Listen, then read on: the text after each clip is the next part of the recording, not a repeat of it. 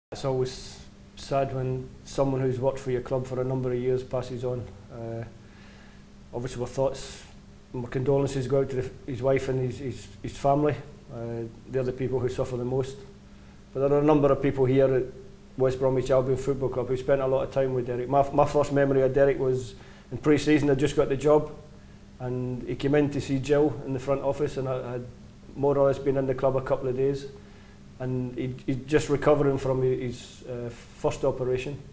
And he came in to me and he said, Gaffer, I said, I know I don't look very good just now, but I promise I'll be back in August. And fair play to him, he was back in August and he was working with the players. And I, th I think that's a good memory to take.